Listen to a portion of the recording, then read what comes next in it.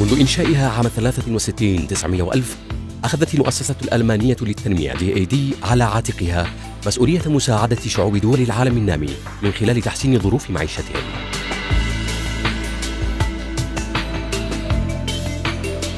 مفهوم التعاون التنموي بالنسبة للمؤسسة الألمانية للتنمية هو عبارة عن جهود شراكة.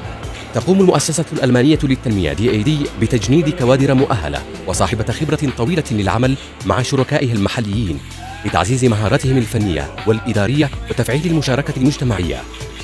وعن طريق ذلك يتسنى لأخصائي المؤسسة الفرصة للحصول على مهارات إضافية والتعرف أكثر على حضارات أخرى والتكيف معها. حاليا يعمل أكثر من 950 عامل تنمية تابعين للمؤسسة الألمانية للتنمية في أكثر من 40 دولة حول العالم.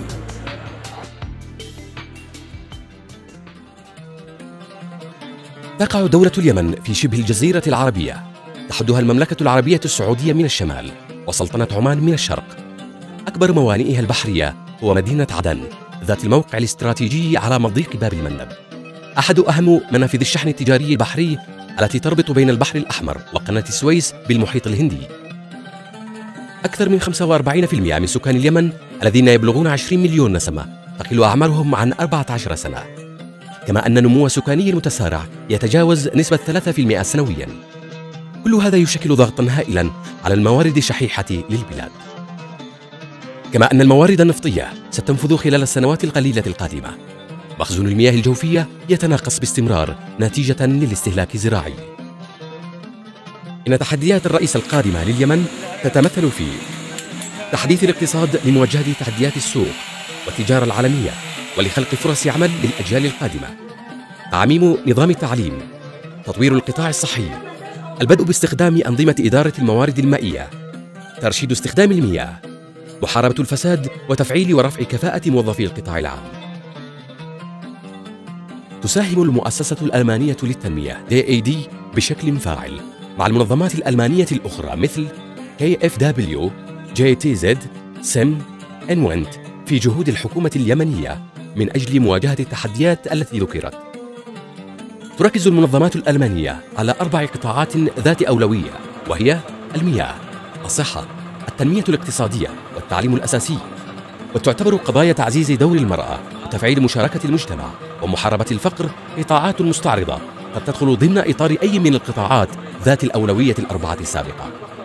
يبلغ عدد عاملي التنمية المتواجدين في اليمن حوالي 30 شخص ويعمل بعضهم في المشاريع الممولة ماليا من قبل المنظمات الألمانية الأخرى.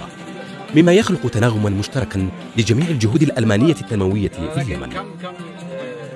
التعاون بين المؤسسة الألمانية للتنمية DAD وشركائها المحليين بدأ في اليمن في عام 79 900 وألف واستمر منذ ذاك الوقت في التطور حتى يومنا هذا. في مجال التنمية الاقتصادية وخلق فرص العمل تساهم المؤسسة الألمانية للتنمية DAD بشكل نشط في دعم معاهد ومراكز التعليم الفني لتطوير كفاءة المدرسين والتعريف بميادين جديدة للتعليم وتحسين دورات التدريب القصيرة للقطاع الخاص. بالإضافة إلى ذلك تقوم المؤسسة الألمانية للتنمية DAD بدعم وتطوير أداء الجمعيات المهنية والحرفية من أجل مساعدتهم على تقديم خدمات أفضل لمنتسبيها.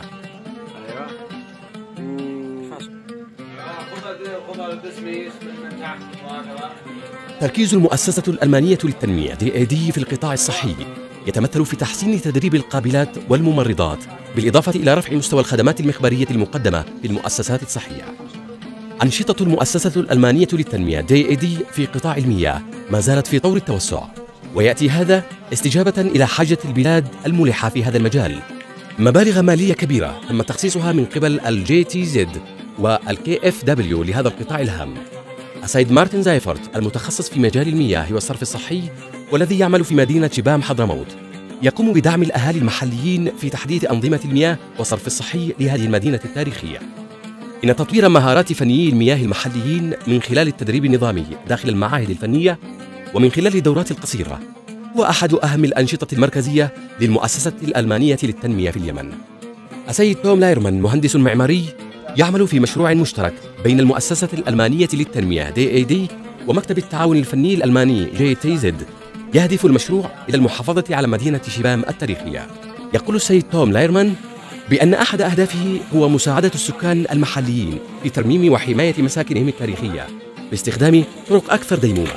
وبهذه الطريقة فإن المشروع يهدف إلى المحافظة على التقنيات التقليدية المستعملة عن طريق الحرفيين التقليديين وفي نفس الوقت الأخذ في عين الاعتبار حاجيات سكان في القرن الواحد والعشرين. يهدف المشروع أيضا إلى محاولة إيجاد فرص عمل لسكان المدينة وإحدى هذه الفرص على سبيل المثال هي قطاع السياحة.